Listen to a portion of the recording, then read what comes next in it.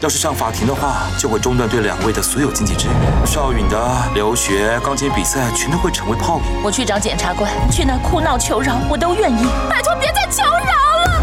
为了调查朴俊模的案子，过去三天我睡不到五个小时。只要今天朴俊模的案子顺利结束，就能够起诉了。所有可能发生的状况都做好万全准备了，放轻松一点。蒲院长又不是罪人，我从来没有对我老婆施暴过。我做了梦，今天调查会搞砸，起诉不了的。周一至周五晚间十点，《我的美丽你日记》，当你沉睡时。